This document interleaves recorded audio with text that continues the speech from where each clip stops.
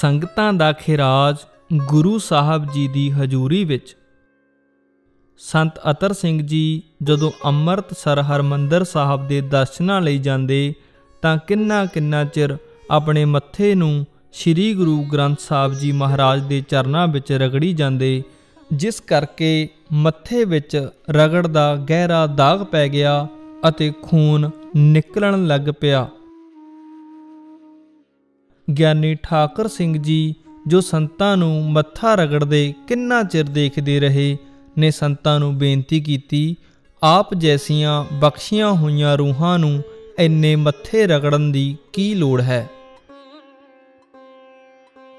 ਸੰਤ ਜੀ ਮਹਾਰਾਜ ਦੇ ਨੇਤਰਾਂ ਵਿੱਚੋਂ ਜਲ ਵਹਿ ਤੁਰਿਆ ਅਤੇ ਬੈਰਾਗ ਭਰੇ ਅਮੋਲਕ ਬਚਨਾਂ ਦੁਆਰਾ ਉੱਤਰ ਦਿੱਤਾ, ਜਦ ਅਸੀਂ ਪਰਕਰਮਾ ਵਿੱਚੋਂ ਲੰਘਦੇ ਹਾਂ ਤਦ ਅਨੇਕਾਂ ਮਾਈ ਭਾਈ ਇਸ ਖੱਲੜੇ ਸਰੀਰ ਨੂੰ ਨਮਸਕਾਰ ਕਰਦੇ ਹਨ।